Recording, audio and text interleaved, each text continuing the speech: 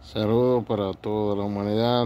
Estamos viendo cuáles podrían ser los peloteros que pueden representar a Canadá en el Clásico Mundial de Béisbol 2023. Y la verdad que hay poca cosa.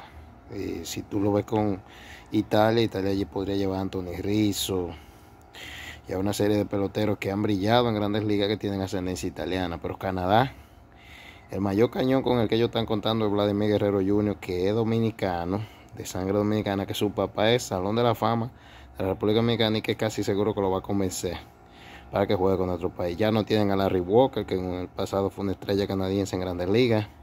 Joey Boro está todavía en Grandes Ligas, pero es un hombre que tiene 20 años en Grandes Ligas y ya Joey Boro está tirando sus últimos cartuchos. El abridor principal de Canadá podría ser Nippy Beta, que es parte de la rotación abridora de los Medias Rojas de Boston. Pero si tú sacas Piveta no hay gran otra cosa que ver. Eh, en fin, o sea, el equipo de Canadá podría ser uno de los más débiles, porque incluso el de Cuba, Japón, Taiwán, cualquier otro equipo con el que tú compares a Canadá, es casi seguro que tiene superioridad sobre el equipo de América del Norte.